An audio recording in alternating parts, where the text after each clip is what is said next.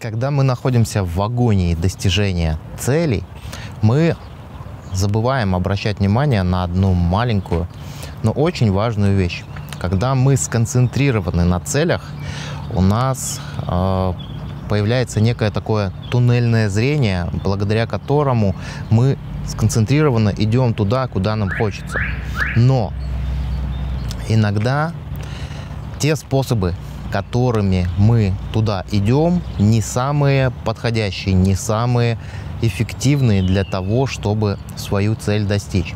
И сегодня я хочу тебе в рамках передачи «Утренняя раскачка» порекомендовать сделать себе один небольшой вызов на целую неделю. И сегодня мы будем, начнем, мы сегодня начнем практиковать пресуппозицию, которая называется «нет побед и поражений, есть только обратная связь». О чем нам говорит эта пресуппозиция НЛП?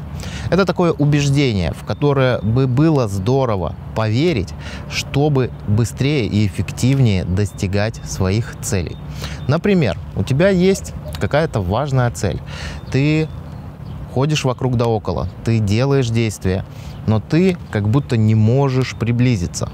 Вот зная это убеждение, зная эту пресуппозицию, нет побед и поражений, есть просто обратная связь, это тебе поможет сделать нужные выводы о себе. То есть все, что у тебя получается, либо все, что у тебя не получается, не стоит окрашивать эмоционально, не стоит придавать этому либо позитивный окрас, либо негативный, а просто воспринимать это механистично достаточно, воспринимать это как обратную связь. А что значит обратная связь?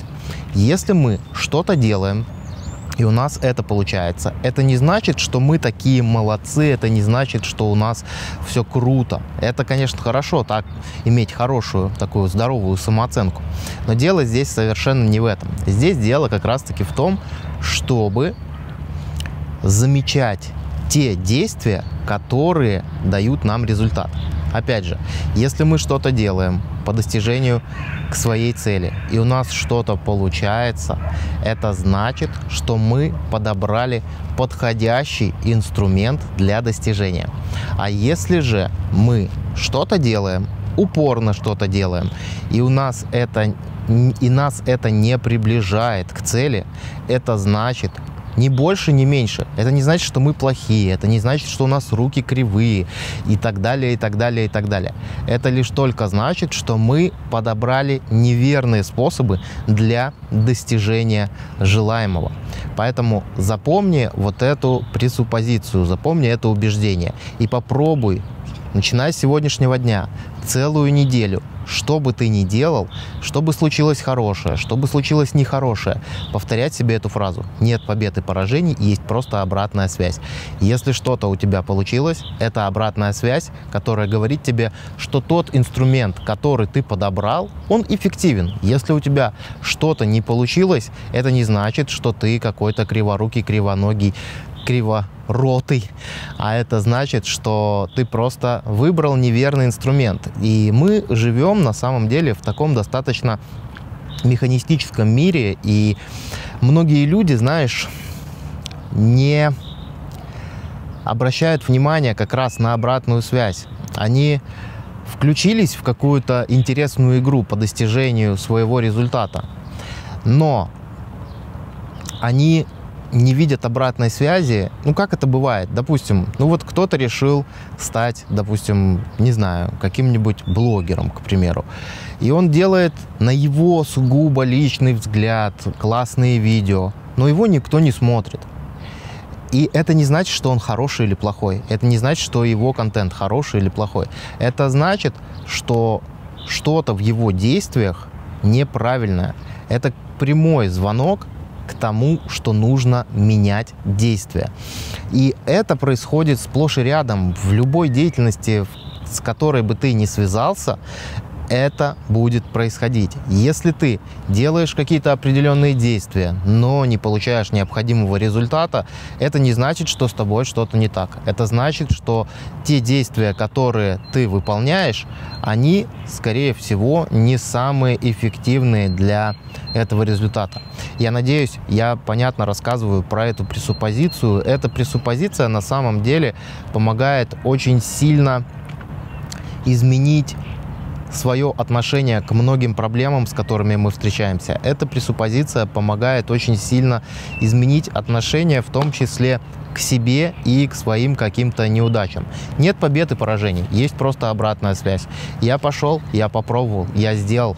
И зачем мне усиливать свои ресурсные вложения, скажем так, в какую-то деятельность, которая не приводит к необходимому результату. Я буду пробовать искать новые действия по достижению желаемого. И это совершенно нормальная история. Мне буквально недавно в прямом эфире одна девушка задавала вопрос, что мне делать, если я там легко прохожу собеседование и больше года на одной и той же работе не задерживаюсь. Так это же прекрасная новость.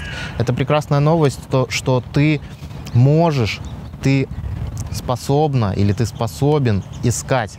Потому что если ты еще не нашел свой род деятельности, если ты еще не нашел те занятия, которые, в которых ты можешь проявлять усидчивость, какую-то настойчивость, то, скорее всего, это звоночек о том, чтобы задуматься, а вообще тем ли делом я занимаюсь? Вообще то ли я делаю? Потому что если вот нету вот этого драйва, если нету вот этого огня, то, скорее всего, ты занимаешься чем-то не тем. И очень здорово, что мы сейчас живем в таком мире, в котором у нас есть все возможности для того, чтобы пробовать себя. И знаешь, на самом деле люди, многие подходят достаточно радикально к каким-то переменам. Они считают, что если, нужно, если есть возможность изменить жизнь, нужно ее менять на корню. Мне кажется, что на сегодняшний день можно, оставаясь даже на нелюбимой работе, можно пробовать перебирать разные виды деятельности. И если эта деятельность тебя цепляет, да, если ты испытываешь к этой деятельности вот такую прям любовь, как, э, знаешь, когда в 16-17 лет ты испытываешь влюбленность, и тебя тянет, ты не можешь проводить э, время без этого человека. То если ты находишь такое занятие, это очень круто, это очень здорово, если ты готов на это тратить время. Но, опять же, запомни, нет побед и поражений, есть просто обратная связь. Если что-то не получилось, это не хорошо и не плохо, это просто нужно искать новые инструменты. Если что-то получилось, это тоже не хорошо и не плохо, это просто ты подобрал хороший инструмент.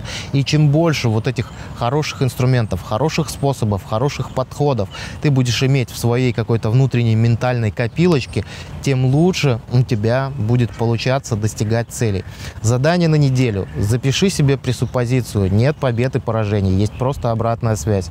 На листе, в смартфоне, в заметках. Просто запиши ее и один раз в день, желательно вечером, анализируя свой прошедший день, из этого убеждения попробуй проанализировать свои действия, свои успехи и свои неуспехи.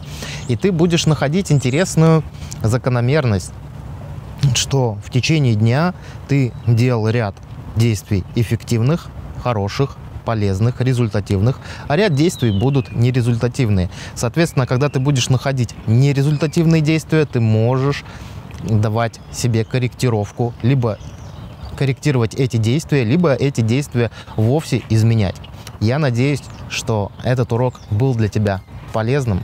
Подписывайся на канал. Передача «Утренняя раскачка» выходит каждый вторник в 9 часов утра, где ты получаешь один, но очень важный такой корректирующий совет, используя который в течение недели ты можешь значительно, сильно улучшить свою жизнь. На этом у меня сегодня все. До скорых встреч.